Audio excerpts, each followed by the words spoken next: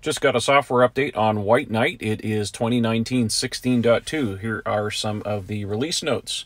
So, some improvements on driving visualization. This is uh, what the car displays here in the autopilot screen. A little smaller on mine because I have a Model S, or uh, actually a Model X. On a Model 3, of course, you got that large strip on here. So, the visualizations, you guys will really like that. Some Sentry Mode improvements and some software update preferences. Let me show you some basic stuff here. So now we get a Sentry Mode icon right here in the toolbar. Pressing that turns it on and off on whim. Otherwise, you can go into uh, settings here and you can go down to safety and security and you can now turn Sentry Mode on and now you have three check boxes. So basically turning Sentry Mode on make sure that Sentry Mode is always active. You do not have to turn it on and off anymore. It's just automatic.